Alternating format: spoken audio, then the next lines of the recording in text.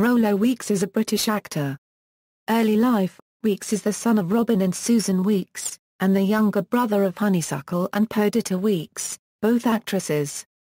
He attended the Sylvia Young Theatre School and Stowe School. Acting Weeks' debut film was The Little Vampire, directed by Ulrich Edel, which earned Weeks a Young Artist Award nomination.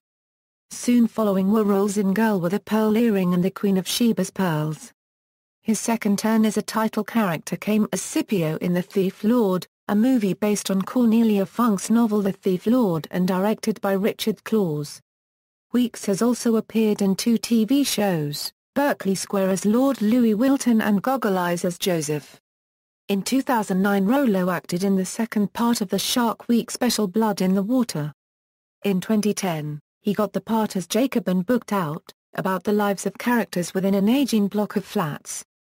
He also appeared early on in Stephen Poliakoff's The Lost Prince as the young George, Duke of Kent, in a film about his hidden epileptic and disabled younger brother John. In 2011, he also portrayed the character of Leo Wyatt in No More Love Notes alongside Phoebe Tonkin. Filmography. References. The Thief Lord at the Internet Movie Database. External links. Rollo Weeks at the Internet Movie Database. Rollo Weeks official Twitter